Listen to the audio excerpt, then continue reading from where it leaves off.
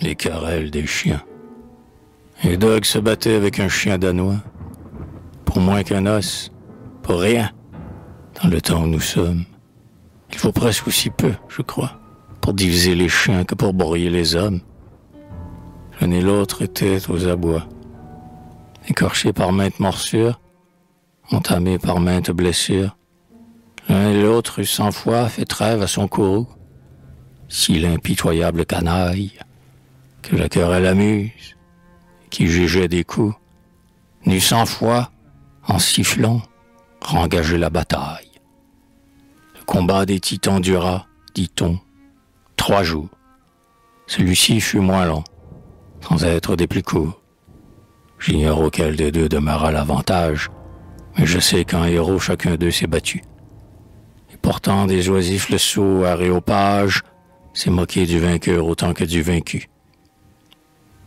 Jean d'esprit, quelquefois si bête, loin de prolonger vos débats, songez que vos jours de combat, pour les sots, sont des jours de fête.